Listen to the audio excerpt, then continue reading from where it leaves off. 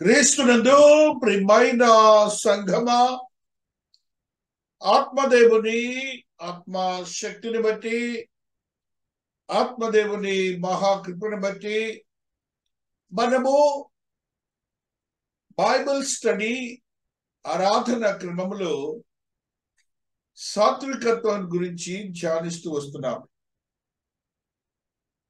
కొన్ని అంశాలను మనము కీర్తనాకారుడు రాసినటువంటి ఆత్మీయ సత్యాలను గత వారం మనము ధ్యానించున్నాము అదే ఆత్మీయతో నడిపించబడే స్థితి ఒక విశ్వాసికి ఉండాలని మహాదేవుని యొక్క ఆకాంక్ష. సాత్వికత్వము ఆబ్లిక్ దీనత్వం. ఇలాంటి గుణగణాలు మనుష్యుని యొక్క ప్రలోభపడి స్థితులలో నుంచి తగ్గింపులోనికి వచ్చే మనస్తత్వము ఒక నూతనమైనటువంటి అనుభవంతో కూడినటువంటి ఆశీర్వాదకరమైన స్థితి. యేసుక్రీస్తు ప్రభులు వారిని దేవుడిగా ఎరిగిన వారు అది గ్రహించి ఆ రీతిగా జీవించాలని దేవుని యొక్క ఆకాంక్ష ఉంటున్నది. ఇక అందులో భేదం ఏమి లేదు. అందులో భేదం ఏమి లేదు. ప్రతి మనుష్యుడు అలాంటి మనస్తత్వాన్ని కలిగి ఉండాలి.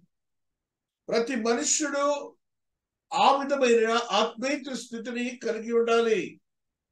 లోకము లోకాధికారి యొక్క బంధకములో ఉండటం వల్ల ఆ సాత్వికత్వము దీనత్వము లేక క్రూరత్వముతో కూడిన స్థితిగతులు వారి జీవితాల్లో బలపరచబడి ఉన్నాయి.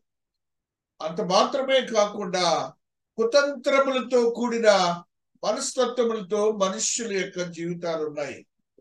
వాటన్నిటినీ విడుదల చేయడానికే దేవుడు భూలోకానికి వచ్చారు. వాటన్నిటి నుంచి దూరపరచడానికే దేవుడు భూలోకానికి వచ్చారని మనం గ్రహించాలి. ఆ రావటం కూడాను ఆయన స్వార్థ అనే ఒక మంచి వార్తను పరమ నుంచి తీసుకుని వచ్చి రక్షణ అనే ఒక మహిమాన్వితమైనటువంటి మాటను మనకు అందచేసి తన మహిమలోనికి నడిపించాలని ఆయన వచ్చినటువంటి స్థితి మనందరికీ తెలుసు. యశ్యా భక్తుడు అరవై ఒకటవ అధ్యాయము ఒకటవ వచనములో ఒక సత్యాన్ని తెలియచేస్తూ ఉన్నారు. ప్రభువకు యహోవా ఆత్మ నా మీదికి వచ్చి ఉన్నది ఈనులకు సువర్తమానం ప్రకటించటకు యహోవా నన్ను అభిషేకించను.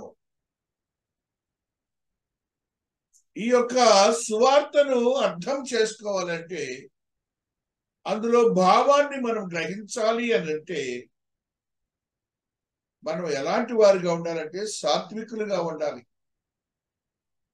ఆ సాతానుకు సంబంధించినటువంటి కుతంత్రములతో కూడిన మనస్సు ఉండకూడదు. అది ఉంటే ఈ యొక్క సువార్త అర్థం కాదు. ప్రకటిస్తారు అయినా అర్థం కాదు. ఈ ప్రకటనలు అనేక వేల సంవత్సరాలు జరుగుతున్నాయి. అనేక వేల సంవత్సరాల నుంచి భూమి మీద ఉన్నటువంటి ప్రతి మనుష్యునికి ఈ లేటెస్ట్ కమ్యూనికేషన్స్ వల్ల టెక్నాలజీ వల్ల వారి ఎందుకు పోతున్నదని మనం గ్రహించాలి. అయినప్పటికీ అది వినేవారుగానే ఉంటున్నారు కానీ వాటిని అవలంబించి ఆయనకు ఇష్టలుగా జీవించేవారుగా ఉండట్లేదని ఈ వాక్యంలో ఉన్న సత్యాన్ని ఎరగాలి దేవుడే భూలోకానికి వచ్చి చెప్పిన మాటల్ని అలనాడు వారే తృణీకరించి వారే ఆయనను ఆ యొక్క శిలువమానికి అప్పజెప్పి ఆయనను మరణానికి గురి చేసిన స్థితి మీ అందరికీ తెలుసు. దేవుడే అని చెప్పిన ఆ యొక్క ప్రవచనాలు చూపించిన వారు ఏ మాత్రమును నమ్మలేని పరిస్థితులను ఆ యొక్క సాతానుడు క్రియేట్ చేశాడు. అలాగనే ఇప్పుడు కూడా అలాంటి పరిస్థితులనే జరుగుతూ ఉన్నాయి.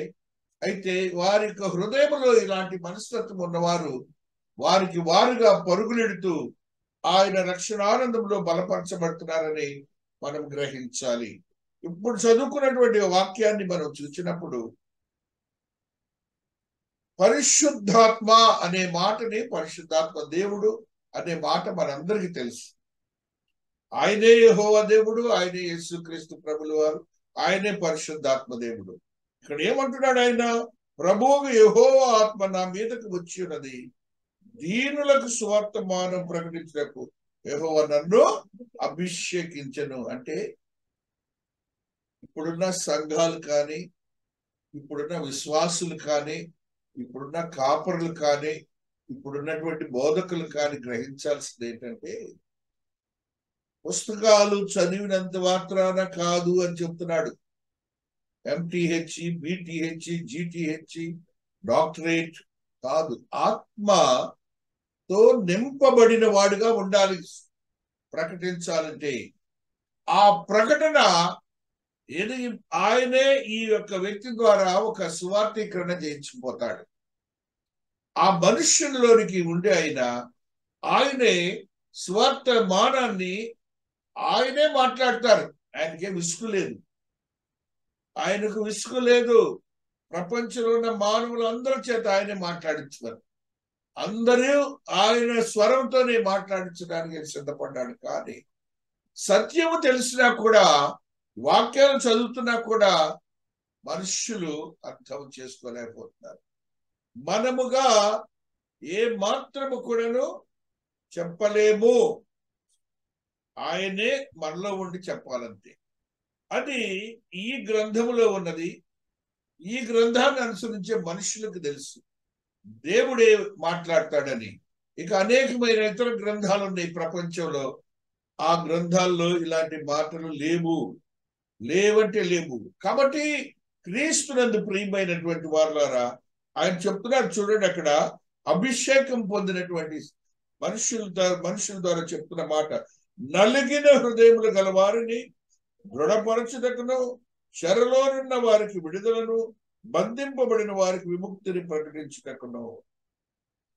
ఇవన్నీ కూడాను మనము గ్రహించలేకపోతున్నాం. మన జీవితాల్లో ఇలాంటి మనస్తత్వాలు ఉంటాయి మన దగ్గర. బంధింపబడిన వారు అంటున్నాడు. అదే నలిగిన హృదయములని అంటున్నాడు. అలాగనే చెరలోనున్న వారు అంటున్నాడు. అనగా మనమందరమును ఆ చెర బంధింపబడుట ఇవన్నీ సాతానికి సంబంధించి. నలిగిన హృదయములు అదే సాతానుకు సంబంధించింది మనుష్యుని తొందర చేస్తా ఉంటాడు. చేసి దేవునికి దూరస్తుల్ని చేస్తా ఉంటాడు. వారు అప్పుడు దేవుని సువార్థీకరణ వింటే ప్రభువులు వారు మాట్లాడిన మాటను వింటే వారు ఆటోమేటిక్గా వారి యొక్క జీవితాలన్నీ ఆనందమయమవుతాయి. ఏ మాత్రము కూడాను వారికి వారిగా బలహీనపరచబడరు. అని మనం గ్రహించాలని ఆత్మదేవుడి దినాన మనందరితో మాట్లాడుతున్నారు. అలాగనే ఇదే మాటని యేసుక్రీస్తు ప్రభులు వారు వచ్చి భూమి మీద మాట్లాడిన మాటని చూస్తాం. లూకాసు వార్త నాలుగవ అధ్యాయము పదిహేనవ వచ్చినములో మహాదేవుడు ఆయన మాట్లాడిన మాటని ఏ రీతిగా ఆ యొక్క స్థితిలో మనము గ్రహిస్తామో మనం గ్రహించబద్దులం అవుతున్నాం ఆయన సమాజ మందిరంలోనికి వెళ్తున్నారు. అక్కడ ఆయన మాట్లాడిన మాటని మనం చదువుకుంటూ వస్తున్నాం. చూడండి పది పదహారవ వచ్చినము నాలుగవ వచ్చి తర్వాత ఆయన తాను పెరిగిన నజరేతులకు వచ్చను. తన వాడుక చొప్పున విశ్రాంతి దినమందు సమాజ మందిరములోనికి వెళ్ళి చదువుటకై నిలుచుండగా. ఆయన మనుష్యుడే మీరందరూ గ్రహించాలి దేవుడు కాదు. ఆయన మనుష్యుడే. అవధులు లేని ఆత్మ ఆయనలో ఉంది అది. అందరు గ్రహించాల్సింది ఏంటంటే ఆయన దేవుడు కాబట్టి అన్ని చేశాడు. కాదు మనుష్యునిగా చేయవలసిన అన్ని చేశాడు కాబట్టి మనకు రక్షణ వచ్చింది. అందుకని ఆయన మనుష్యుడిగా మాట్లాడుతున్న మాట చూడండి. ఆయన మాట్లాడిన మాటల సత్యాన్ని మనం గ్రహించడం ప్రవక్త అయిన యశా గ్రంథము ఆయన చేతికి ఇవ్వబడిను. ఇది మనం చదివింది ఇప్పుడు. ఆయన గ్రంథము చెప్పగా ప్రభువు ఆత్మ నా మీద ఉన్నది. వీధులకు సువార్త ప్రకటించుటకై ఆయన నన్ను అభిషేకించను. చెరలో నున్న వారికి విడుదలను వృద్ధి వారికి చూపును కలిగిన ప్రకటించుటకును నలిగిన వారిని విడిపించుటకును ప్రభువు హితవత్సరం ప్రకటించుటకును ఆయన నన్ను పంపి ఉన్నాడని వ్రాయబడిన చోటు ఆయనకు దొరికెను. అట్లాగా అన్ని గ్రంథాలు చదివే మనుషులకు చూపించినా కూడా వాళ్ళు నమ్మలేకపోయారు. వారు నమ్మలేకపోయారు. ఎందుకు? అంధత్వాన్ని కలుగు చేస్తుంది అపవాది యొక్క కుతంత్రాలు.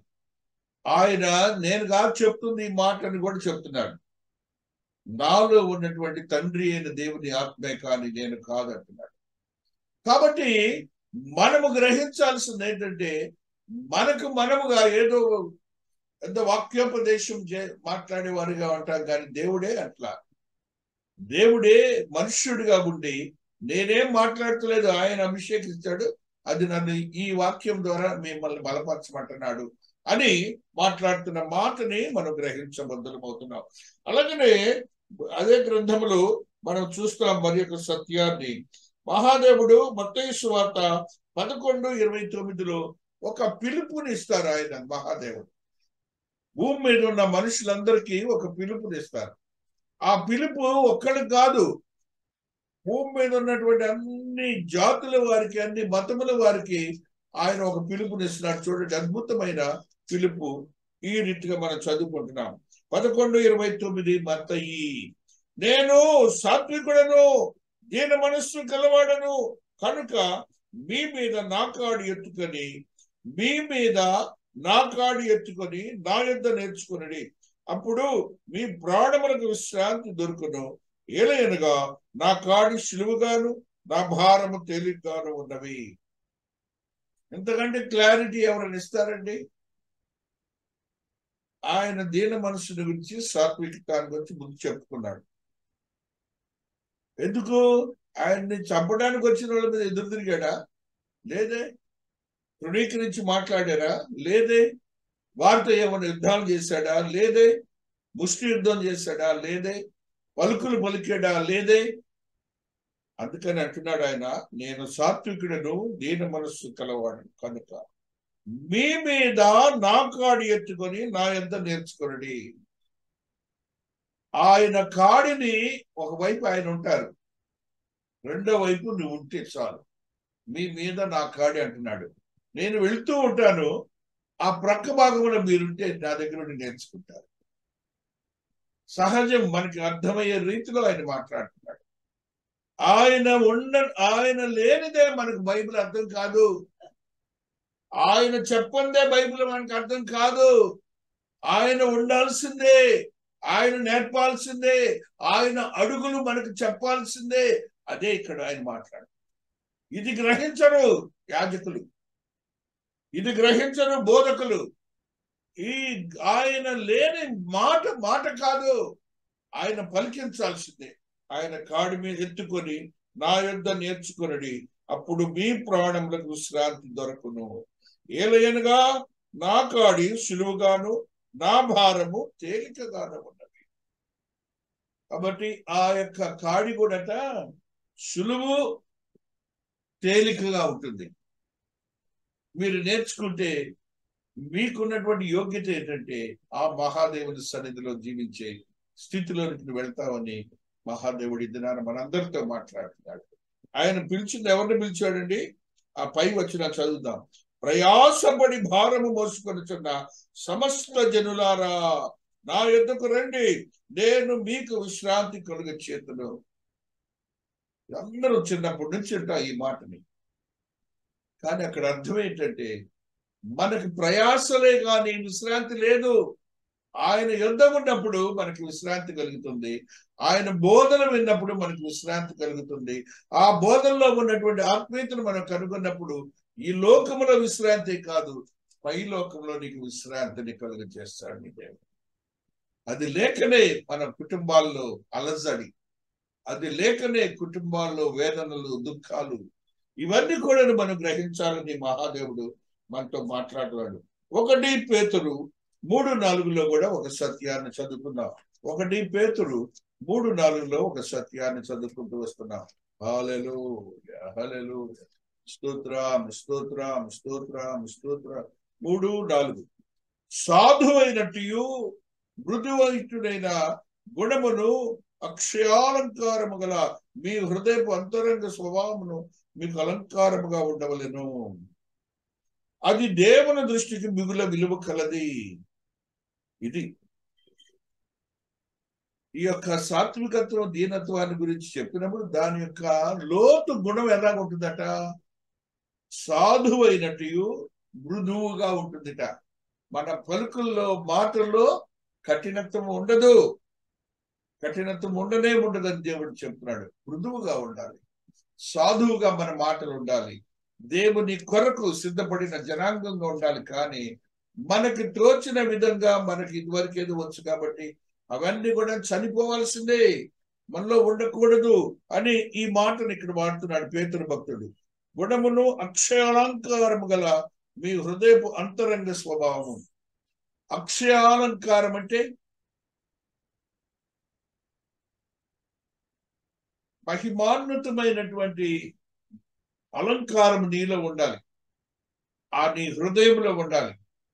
అందులో ఉన్నటువంటి స్వభావం ఎలాంటిదంటే ఏ మాత్రము కూడా తృణీకరించే పరిస్థితులు అక్కడ ఉండవు. దేవుణ్ణి ప్రస్తుతించి స్థుతించే మనస్తత్వాలే. ఆ అలంకారము నీ హృదయానికి ఉండాలి కానీ ఈ లోక రీతిగా ఉన్నటువంటి అక్షయం అక్షయము అంటే నశింపనిది. క్షయము కానిది. అది అక్షయ అలంకారం అంటే. ఆ అలంకారం మనలో ఉండాలని మహాదేవుడు ఈ దినాన మనతో మాట్లాడుతున్నాడు. ఈ రీతిగా ఈ మాటని సందర్భాన్ని పేతృ భక్తుడు తెలియజేస్తూ శారాని గురించి తీసుకురావడానికి ఇది చెప్తున్నాడు. శారాలో ఉన్న గుణగణాల గురించి చెప్పడానికి ఈ మాట చెప్తున్నాడు. శారా ఏ రీతిగా ఉందో ఆవిడని పరిశుద్ధ స్త్రీ అని కూడా హెచ్చరిస్తున్నట్టుగా అక్కడ చూస్తాం మనం. పరిశుద్ధ అంటే సెయింట్ అని మనం ఇక్కడ ఇంగ్లీష్లో అనుకుంటాం. ఆ లెక్కలోకి తీసుకుని వెళ్తాడు శారాని ఆ విధమైన గుణగణాలు ఉంటే మనం అందరం కూడాను పరిశుద్ధమైన స్త్రీలుగా తయారవుతున్నాం దేవుడు ఈ పరిశుద్ధ వాక్యమును దీవించి ఆశీర్వదించనుగాక. Amen amen amen.